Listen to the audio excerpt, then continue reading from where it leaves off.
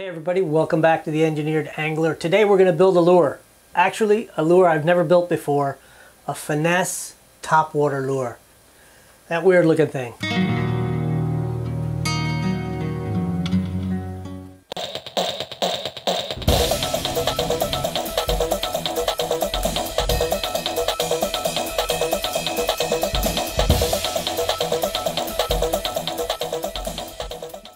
Right, so this is kind of an oddball lure. I really have never made one and I've never actually fished one. And while it kind of looks a little bit like it could be a crankbait, the tie-on eye doesn't go up here on the head. It goes right here.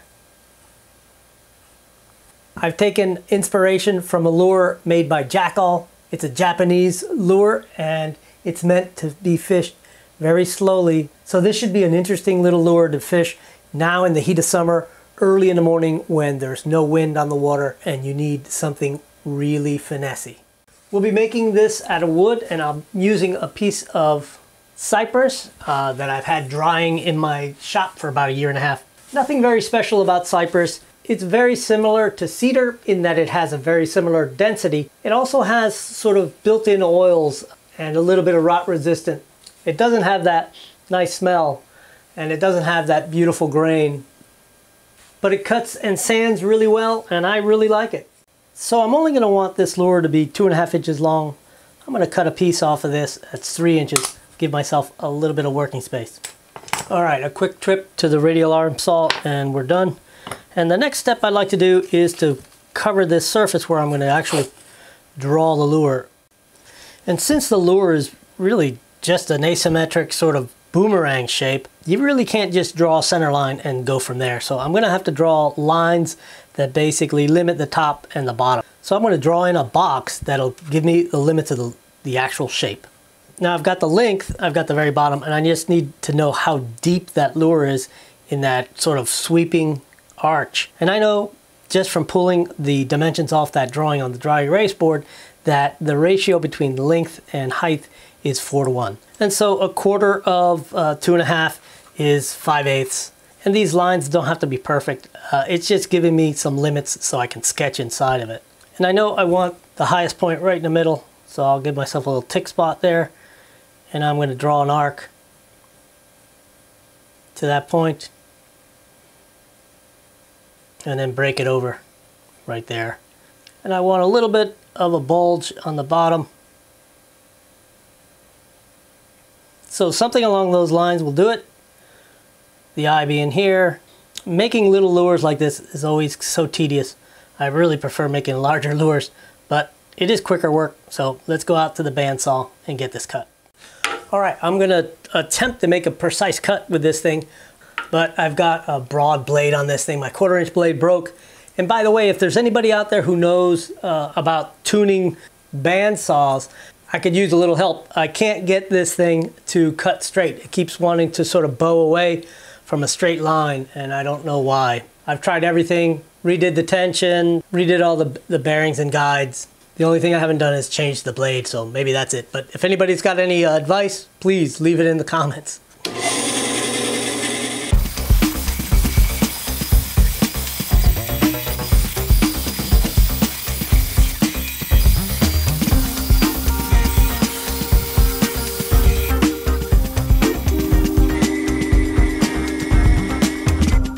So I got a rough cut on this shape, but here's where the sort of the shape starts to get a little bit important for how the lure is actually going to float and actually uh, behave. Because it's really important that this thing floats pretty much level in the water with just the top hump sort of sticking out of the water. The rear treble hook hangs so far back, that's going to have a lot of leverage as far as getting it to sink a little bit on the back. And to overcome that, I need plenty of girth up here to add weight inside the body. So if this dashed line is the center line of the lure looking down, the head should start pretty narrow and then at the very point of this belly, it should be its widest point. And then it should taper in a smooth line to the tail. That should give me enough space for weight and minimize the amount of buoyancy of the head so I can get this thing to sort of balance. I've measured the width and set this at half And then I've gotten some little spacers so that this pencil rides right on the half mark. I can get a nice center line drawn in without too much fuss. All right, there it is sketched out. And some of you might be wondering why I didn't do an actual template. Well, I would if this were, say, a crankbait or any bait that I'm relying on the shape for the action. But since symmetry on this thing is really going to be more aesthetics than anything else, I'm not too worried about getting perfect symmetry.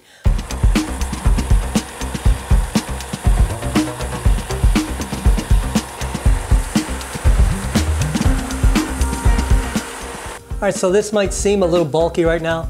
You gotta remember all this has to be tapered back so it's circular, or more or less circular. So there's still a lot of material to be removed. Let's keep going.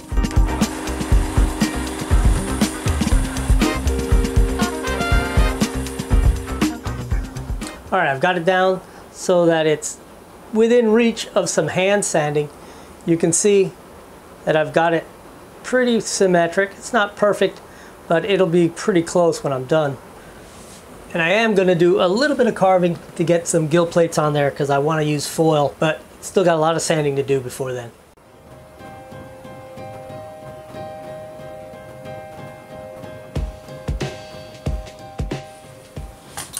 Alright, so the next thing I need to do is to set the location of the eyes because I'll need that to be able to sketch in the rest of the facial features. So I want the eye really high and forward on the head.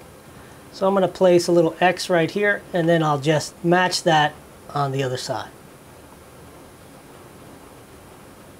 And I'll use this little hand drill to get the eye started so I can get a, a bigger bit on it.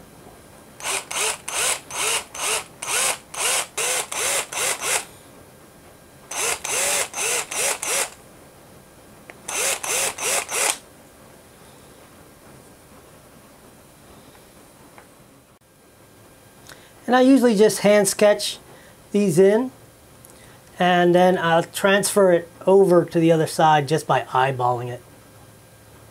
Just by aligning the, the ends of all these curves, I can sort of roughly transfer them over. And I end up with a pretty close approximation of uh, the same thing on both sides. And now I can just start to do a shallow carve. I'm not going to carve real deep on this. I just want to have some texture to put my foil on. All I do is just the classic cut down into the line and then do a wedge cut to take material off. Nothing fancy. But with a little bit of sanding later, a little sandboard, uh, you can actually clean this up pretty nicely. Like I said, a little sanding goes a long way to making this uh, look a little more professional. And with some uh, patience and a little bit of delicate sanding, you can get a pretty nice carve. Again, I don't go for perfection, but a solid mediocre works for me.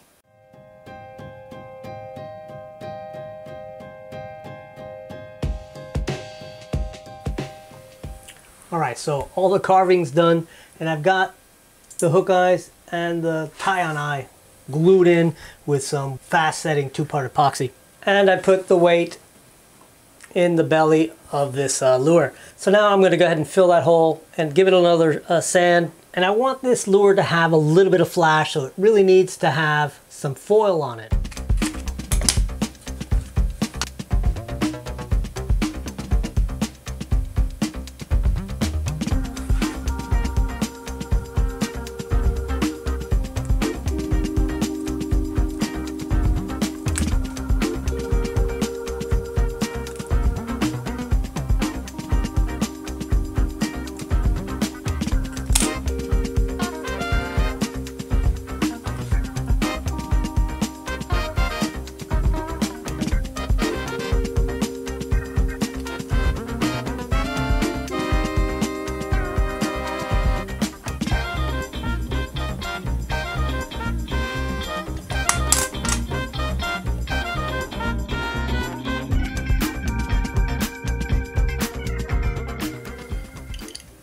All right, so I'm finally getting back to this lure build. I'm really anxious to finish it, but uh, time is limited. So the next step is to go ahead and put the foil on. And if you haven't seen the video of foil texturing and making these little texturing tools, you should check it out. I'll go ahead and put a little link here above me. So if you haven't really done this kind of thing where you put foil on a lure, the tricky part is really aligning it and then being very careful how you uh, push the foil down on the body so that you don't create too many kinks and little wrinkles that you then have to get out. And it also gets a little tricky around carved areas where you have a lot of detail.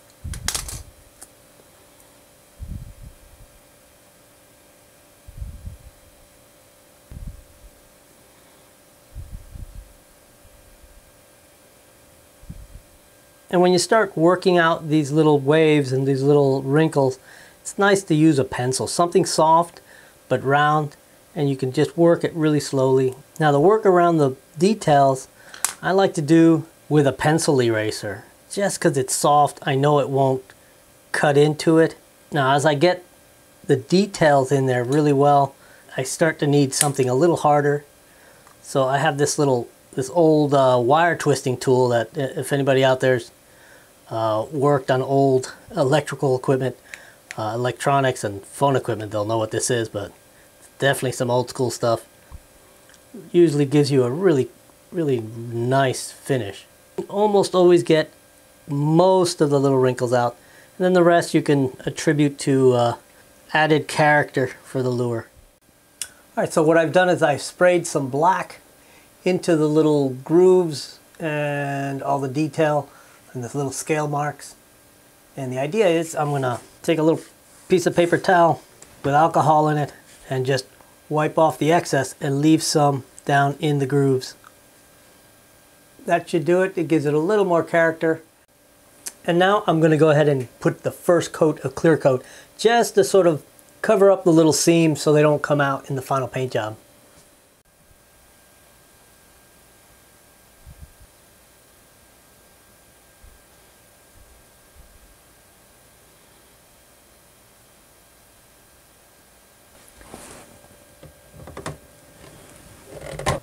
All right. All right.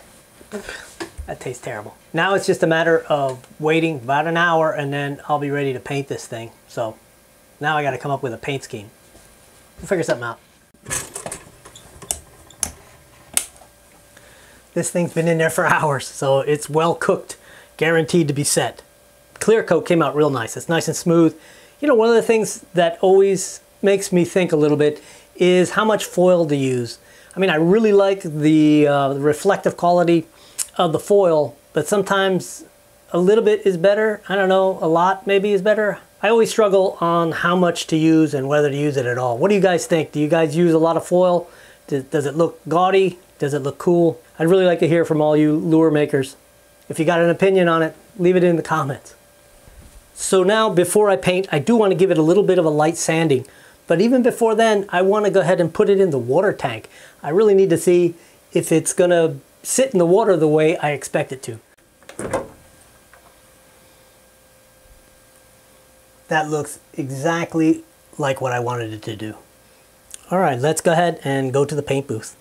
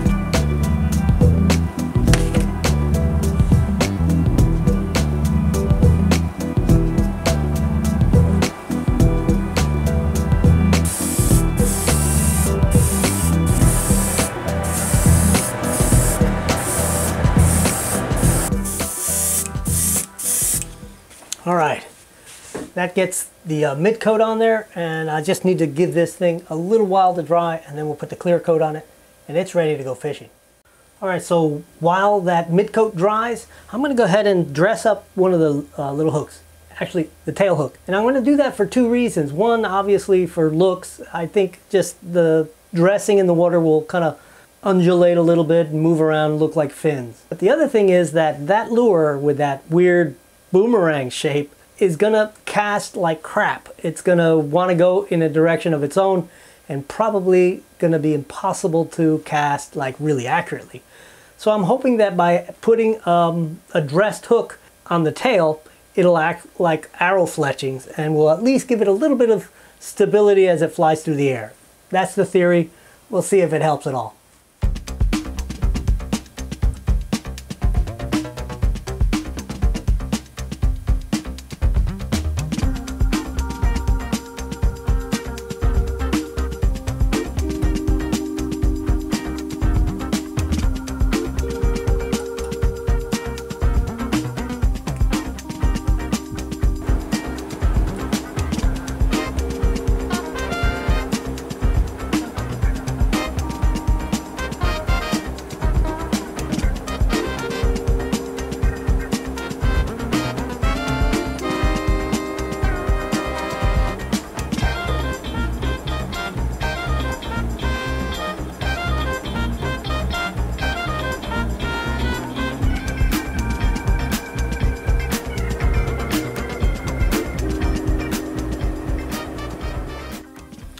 All right, I'm gonna go ahead and give it a clear coat and when it's set, I'll put hooks on it and the next time you see this thing, we're gonna be on a boat trying to fish it. All right, it's still a little bit too bright out to actually fish this thing. Sun's a little too high, so in the meantime, let's get some water shots here at the dock.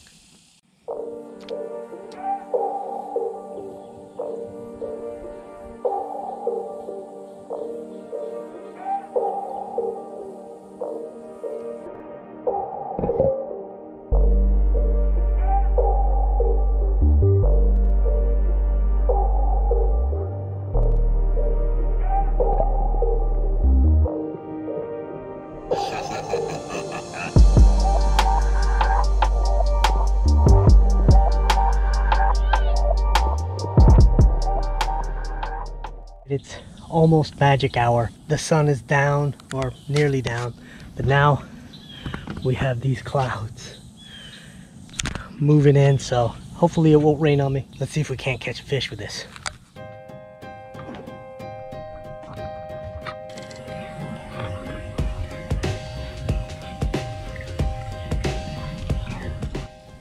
All right, I've got this on 10 pound braid on a really light action six and a half foot rod and a really, this is my smallest Penn reel.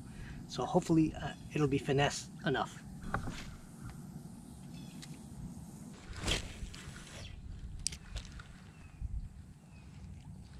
Trying fishing downwind a little bit. Big gator coming after it. Great. Look, see the gator? He's coming straight this way. I don't want to lose my brand new lure. Really? How close you coming? Dude, get out of here. Go away. Hit the road. Go. Uh, he's not afraid. Look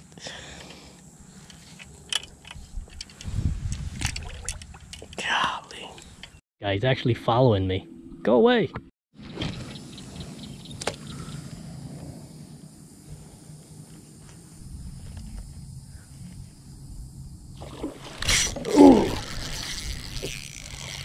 Oh. Oh, surprised the crap out of me.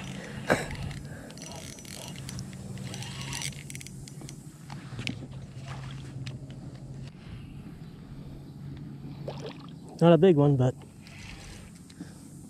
it's a respectable one.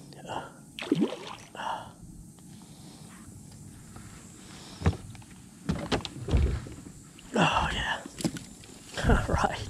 Finally.